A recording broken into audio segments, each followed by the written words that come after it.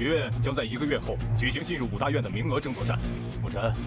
打赢我把种子名额留在我们东院属于我的东西我会凭借自己的双手拿回来。这个小子跟其他人类不太一样倒是挺有毅力的。不想争第一的人有什么资格得到种子？我的东西不会让别人夺去